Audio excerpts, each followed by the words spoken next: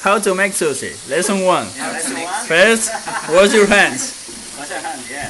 Good. So, come on. they're Okay. clean. So Within half of the night. You have to have wet hands. Yeah. Wet hands. So in this way. Yeah. And you bring some rice. Yeah. this way. And And you have to press fingers, with two fingers in this way. And you always have to have the clean hands. If you have some rice, you have to wash and then start again. you are very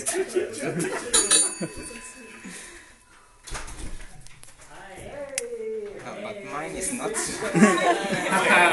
To- Tom is not using two fingers. Tom is using the whole hand. Yeah. Listen. Okay, finish. Hi, I'm Laura. Nice Okay. N. N. Nothing. Oh, that's sure. N. Yeah. And, and that's all. You're finished. Yeah, it's finished. No, no. Now it's you have finished. to roll something inside. No, you have to put the fish on the top.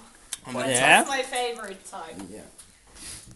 Oh, but mine is not so good. Huh? this is it. Okay. Sorry.